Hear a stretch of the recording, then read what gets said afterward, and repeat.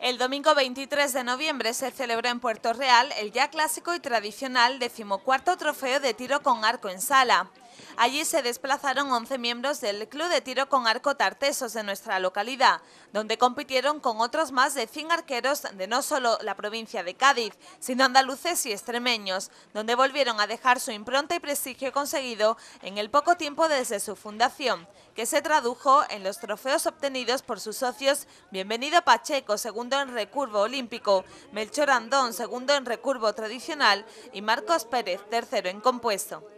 Asimismo, el 6 y 7 de diciembre vendrá a dar un seminario de arquería tradicional la prestigiosa Encarna Garrido, campeona mundial europea y española de dicha modalidad, en el que participarán socios de este club y arqueros del resto de España.